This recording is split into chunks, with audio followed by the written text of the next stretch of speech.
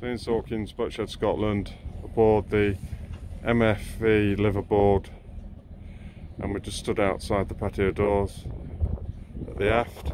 This is the hatch for the entrance to the engine room and then there's steps there which take you onto the upper deck which is basically just somewhere to sit. So if we go around you can see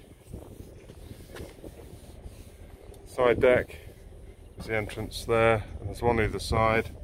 And if come to foredette anchor the bow roller. And if we come around again we